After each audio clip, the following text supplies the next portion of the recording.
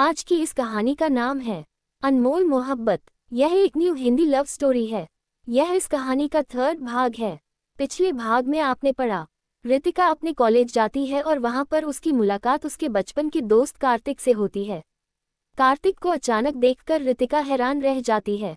कुछ देर तक बात करने के बाद वे दोनों कैंटीन की तरफ़ जाते हैं। अब आगे कैंटीन में पहुंचकर कार्तिक ने रितिका से पूछा कि वह क्या खाएगी। तो रितिका ने सैंडविच और कॉफ़ी का ऑर्डर करने को बोल दिया।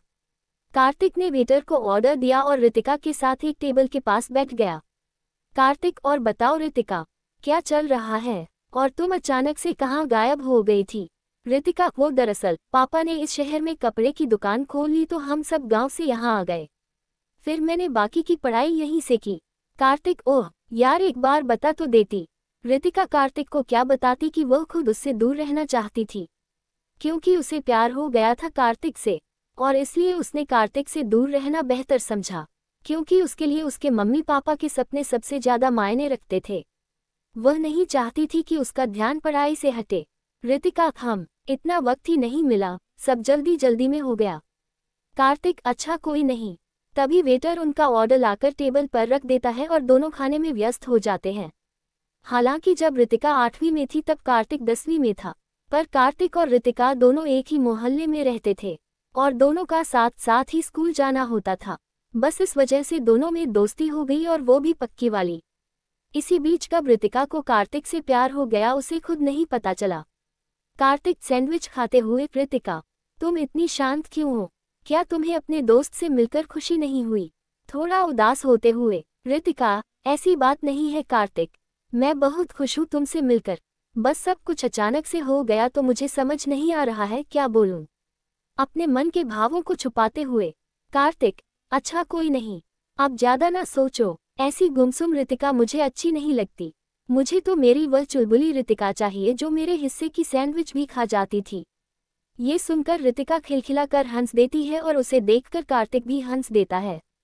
और तभी रितिका उसकी सैंडविच छीन लेती है और कहती है, मैं अब भी वही चुलबुली रितिका ही हूँ। और अब तुम्हारी सैंडविच फिर से मैं ही खाऊँगी। और दोनों खिलखिलाकर हंस पड़ते हैं। कार्तिक अच्छा विशाल, तू चल, मैं आता हूँ। तभी विशाल चला जाता है। फिर कार्तिक कृतिका से चलने को कहता है। दोनों ऑडिटोरियम की तरफ़ निकल जाते हैं।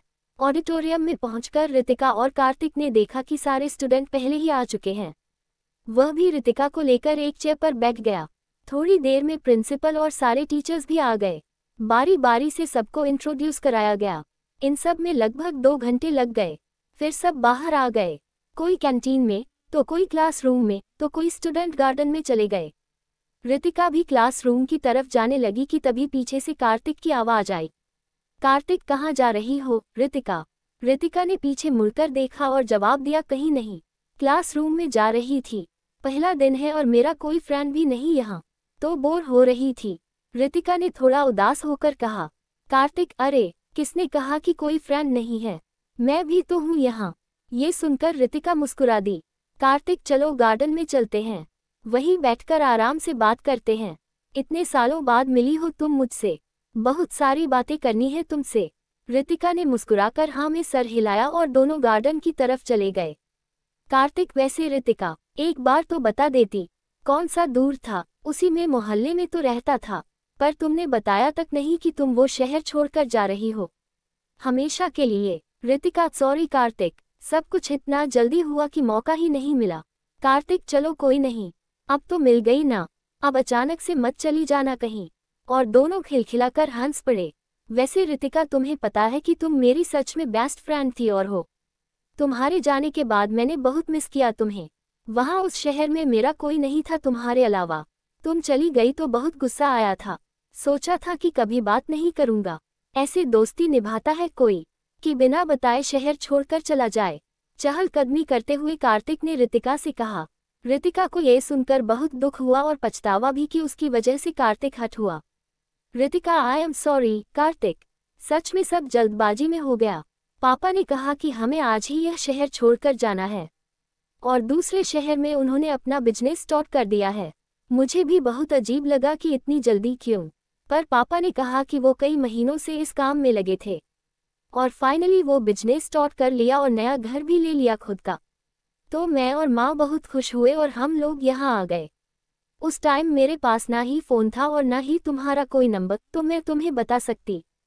कार्तिक, हम, कोई बात नहीं, अब तुम मिल गई मुझे। मैं बहुत खुश हूँ, और दोनों मुस्कुरा दिए, रितिका, अब हमें घर चलना चाहिए। देखो सारे स्टूडेंट्स जा रहे हैं। आज कोई क्लास नहीं है तो। कार्तिक हाँ चलो मैं तुम्हें छोड़ देता हूँ। और अंकल आंटी से भी मिल लूँगा। इतने सालों से मैंने आंटी के हाथों का खाना भी नहीं खाया है। रितिका हाँ क्यों नहीं? चलो फिर माँ, पापा तुमसे मिलकर बहुत खुश होंगे। दोनों फिर घर के लिए निकल जाते हैं।